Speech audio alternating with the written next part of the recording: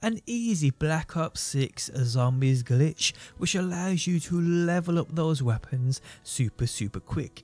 You can do this solo in a team, earn crazy amount of XP and it really is super super simple. How's it going guys? My name is DPJ and if you do enjoy the video, leaving a like really helps me out. And if you like what you see and want to see more Call of Duty, be sure to subscribe.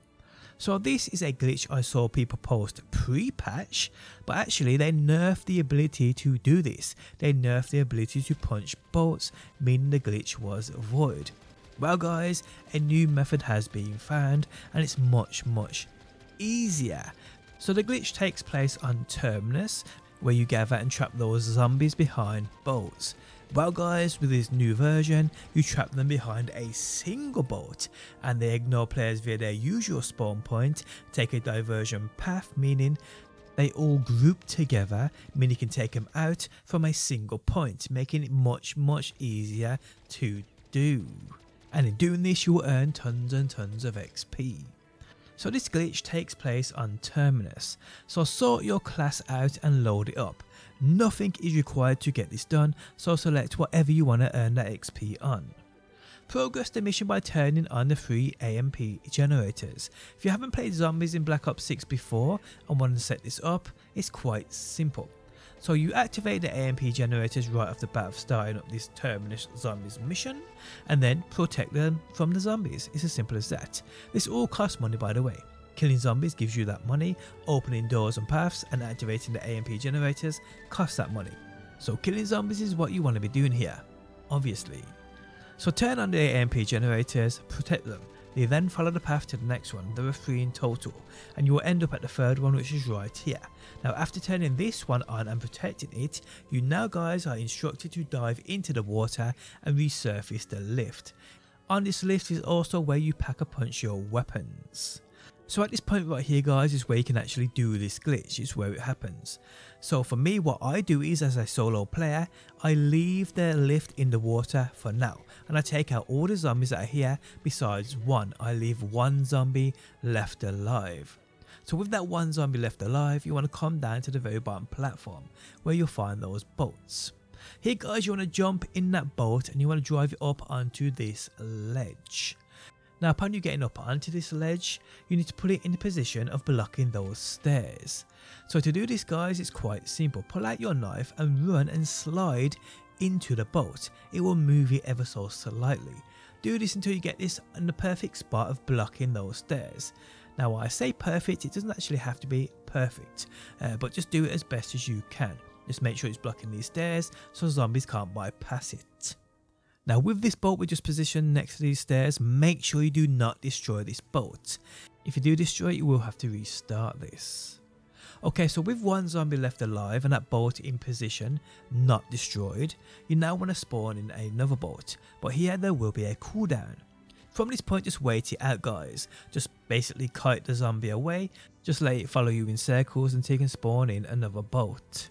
Now if you do accidentally kill the zombie, isn't the end of the world, you just spawn in another wave, you can just take out all of these and leave one remaining, simple as that. So once the cooldown has ended, spawn in that other boat. Here guys you want to jump in this boat and you want to move it away from that spawning space and destroy the boat so it completely explodes.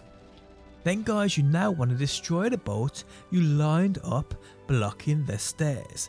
Simple as that completely destroy the boat. Now guys you need to spawn in yet another boat, but again there will be a cooldown so wait it out. So once you can spawn in another boat guys, if you are playing solo and you still have that one zombie left alive, you can lead it around to the stairs where it gets trapped on that boat so you're free to do this. Isn't that much of an issue, it doesn't hurt that much so you should be able to do it with that one last zombie following you around either way. So here guys again you want to spawn in this boat. From here guys you need to jump in that boat and here you need to drive it up onto the ledge and get it as close to that boat spawning machine as you possibly can but also you want the back side of the boat so the engine hanging over the ledge hanging over the water. It doesn't have to be perfect you can also maneuver the boat up on you basically sliding into it with your knife out as we did with the boat we placed by the stairs.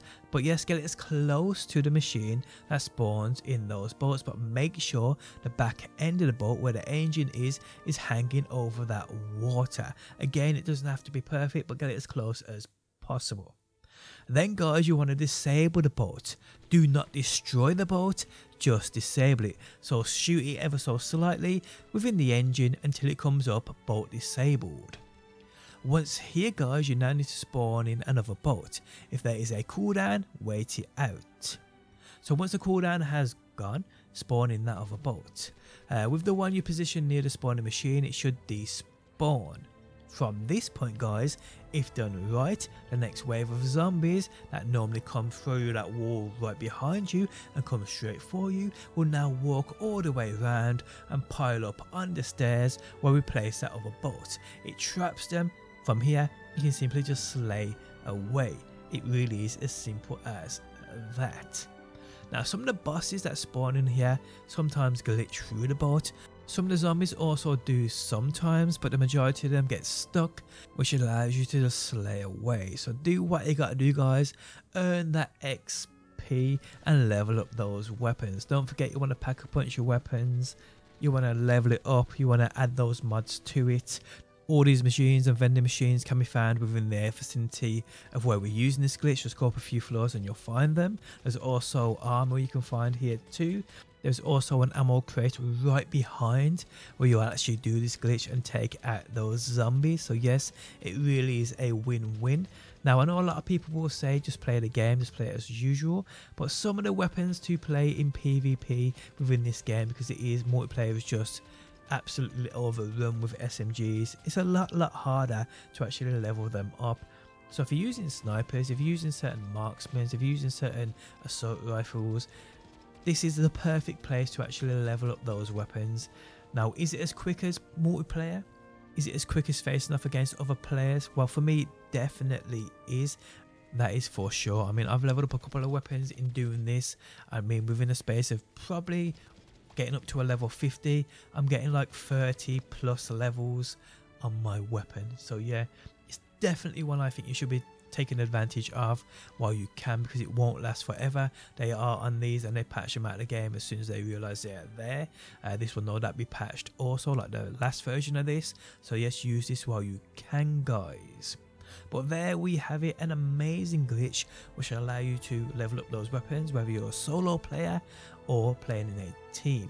Once you are done with this guys, um, you can either exfil or let the zombies take you out, it doesn't matter, your weapon XP gains remain. Guys, if you enjoyed the video, leaving a like really helps out. If you like what you see and want to see more, be sure to subscribe. And hopefully guys, I will see you on that next one.